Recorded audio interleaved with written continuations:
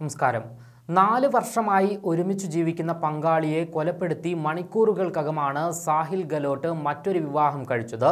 ചോരയുടെ മണം മാറുന്നതിന് മുൻപായിരുന്നു ഇയാൾ സുഹൃത്തുക്കൾക്കൊപ്പം ആടിപ്പാടി വിവാഹം ആഘോഷിച്ചത്. നിക്കി യാദവിനെ കൊലപ്പെടുത്തിയ ശേഷം യുവതിയുടെ ഫോണിലെ വിവരങ്ങളെല്ലാം ഇയാൾ ഡിലീറ്റ് ചെയ്തിരുന്നു. താനുമായി ബന്ധപ്പെടുന്ന കാര്യങ്ങൾ പുറത്തുവരാതിരിക്കാൻ വേണ്ടിയാണ് മൊബൈൽ വിവരങ്ങൾ ഡിലീറ്റ് ചെയ്തത്. ഫെബ്രുവരി ഒൻപതിനായിരുന്നു സാഹിലിന്റെ വിവാഹ നിശ്ചയം നടന്നത്. വിവാഹത്തിന്റെയും വിവാഹ നിശ്ചയത്തിന്റെയും ചിത്രങ്ങൾ തന്റെ മൊബൈലിൽ നിന്ന് നീക്കിയിരുന്നു ഇയാൾ. വിവാഹ നിശ്ചയത്തിൽ സുഹൃത്തുക്കൾക്കൊപ്പം നൃത്തം ചെയ്ത് സാഹിൽ ആഘോഷിക്കുന്ന ദൃശ്യങ്ങളാണ് ഉണ്ടായിരുന്നത്. വിവാഹ നിശ്ചയ വിവരം അറിഞ്ഞതോടെയാണ് നിക്ക് വഴക്കുണ്ടാക്കിയത്. ഇതോടെ നിക്കിയെ സാഹിൽ കൊലപ്പെടുത്തുകയായിരുന്നു. ഫെബ്രുവരി പത്തിനായിരുന്നു വിവാഹം. ഒരു കൊലപാതകിയുടെ ഭാവഭേദങ്ങൾ ഒന്നുമില്ലാതെയാണ് സാഹിൽ വിവാഹത്തിൽ പങ്കെടുത്തത്. വാടക വീട്ടിൽ അവസാനമായി നിക്കിയെ കണ്ടത് ഫെബ്രുവരി ഒൻപതിനാണ്. വീടിന്റെ സി സി ടി വിയിൽ നിന്നാണ് ഇത് പോലീസ് കണ്ടെത്തിയിരിക്കുന്നത്.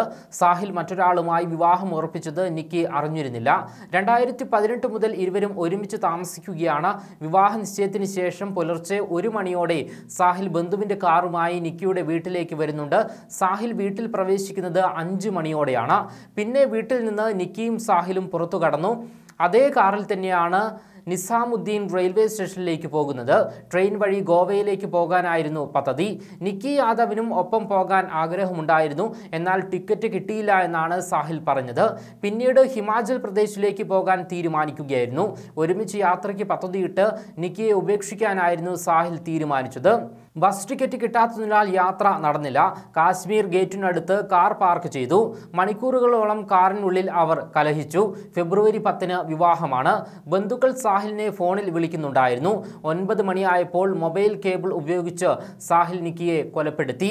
കാറിൽ മൃതദേഹവുമായി കുടുംബത്തിന്റെ ഉടമസ്ഥതയിലുള്ള ദാബിയിൽ ഉപേക്ഷിച്ചു. അതിനുശേഷം വിവാഹത്തിൽ പങ്കെടുക്കുകയും ചെയ്തു. വിവാഹ ദിവസം എല്ലാവരും ഉറങ്ങിയപ്പോൾ പുലർച്ചെ മൂന്ന് മണിയോടെ എഴുന്നേറ്റ് മറ്റൊരു കാറിൽ ദാബയിലെത്തി നിക്കിയുടെ മൃതദേഹം ഉപേക്ഷിക്കാൻ തയ്യാറെടുത്തു. ദാബയിലെ ഫ്രിഡ്ജിലായിരുന്നു മൃതദേഹം സൂക്ഷിച്ചത്. നിക്കിയുടെ മൊബൈലിലെ വിവരങ്ങൾ സാഹിൽ മായ്ച്ചു കളയുകയും ചെയ്തു. നാല് ദിവസത്തിന് ശേഷമാണ് കൊലപാതക വിവരം പോലീസ് അറിഞ്ഞത്. നിക്കി യാദവിനെ കാണാനില്ല എന്ന് അയൽക്കാർ പരാതി നൽകിയതാണ് അന്വേഷണത്തിലേക്ക് നയിച്ചത്. കോച്ചിംഗ് സെന്ററിൽ എസ് സി പരീക്ഷയ്ക്ക് തയ്യാറെടുക്കുകയായിരുന്നു സാഹിൽ. നിക്കി മെഡിക്കൽ പ്രവേശനത്തിന് തയ്യാറെടുക്കുകയായിരുന്നു. ഒരു ബസ് യാത്രയിലാണ് ഇരുവരും അടുത്തതും പ്രണയത്തിലായതും. രണ്ടായിരത്തി പതിനെട്ട് ഫെബ്രുവരിയിൽ സാഹിൽ ഗ്രേറ്റർ നോയിഡയിലെ ഒരു കോളേജിൽ പ്രവേശനം നേടി. പിന്നാലെ നിക്കി ബി എ കോഴ്സിൽ ചേർന്നു. ശേഷമാണ് ഇവർ ഗ്രേറ്റർ നോയിഡയിൽ ഒരുമിച്ച് താമസം തുടങ്ങിയത്. കോവിഡിനെ തുടർന്ന് ഇരുവരും സ്വന്തം വീട്ടിൽ മടങ്ങുകയും ചെയ്തു. ലോക്ക്ഡൌണിന് ശേഷം ദ്വാരകയിൽ വാടക വീട് എടുത്തു. എന്നാൽ നിക്കിയുമായുള്ള ബന്ധത്തെക്കുറിച്ച് സാഹിൽ വീട്ടുകാരെ അറിയിച്ചിരുന്നില്ല. പിന്നീട് വിവാഹം കഴിക്കാൻ വീട്ടുകാർ നിർബന്ധിക്കുകയും വിവാഹം ഉറപ്പിക്കുകയും ചെയ്തു.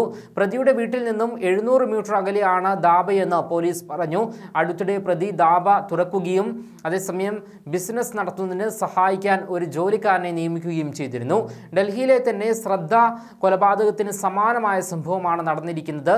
ലവ് ഇൻ പങ്കാളിയെ ശ്രദ്ധയെ കഴുത്ത് ഞെരിച്ച് കൊന്ന ശേഷം മുപ്പത്തി അഞ്ച് കഷ്ണങ്ങളാക്കി മുറിച്ച് മൃതദേഹം ഫ്രിഡ്ജിൽ ഒളിപ്പിച്ച കേസാണ് ശ്രദ്ധ വാൽക്കറിന്റേത് ഈ കേസിലെ കുറ്റപത്രം പോലീസ് സമർപ്പിച്ചിരുന്നു.